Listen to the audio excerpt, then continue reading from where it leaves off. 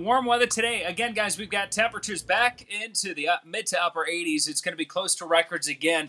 We didn't reach records yesterday. I don't think we're going to hit records again today, but it's still going to be another hot day. It's mostly sunny this morning. It feels great outside right now. We're going to be warming just to the mid 70s by 9 a.m., 80 degrees at 11 o'clock this morning. Now, keep in mind the average high temperature today for May 26 is 73 degrees. We're going to be past that just within the next couple of hours.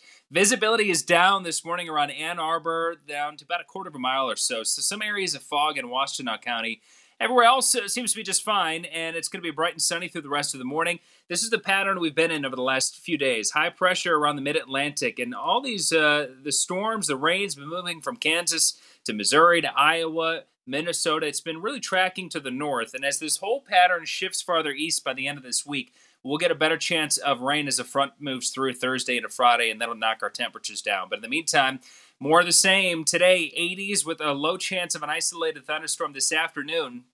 And tomorrow is going to be the same deal again. We're going to be back to the mid 80s. We'll get about a 20% chance of a pop up storm late in the day. So, uh, this is this afternoon through about 4 or 5 p.m. Just a slight chance of an isolated storm. They'll be moving from south to north, but highs today in the upper 80s, close to 90 degrees. High of 89. Tonight, 69 degrees. Again, some patchy fog possible overnight. And tomorrow will be a little bit cooler. We'll be in the mid 80s, but again, with the chance of afternoon uh, isolated thunderstorms tomorrow. Now, Thursday is a better chance of rain later in the day. Rain likely Thursday night into Friday, and then that will knock our temperatures down. So, Thursday, we're still in the 80s. Friday, though, we drop into the 70s, and then check it out by the weekend. Saturday and Sunday, highs only around 71. It'll be mostly sunny this weekend. Lows around the lower 50s Saturday night.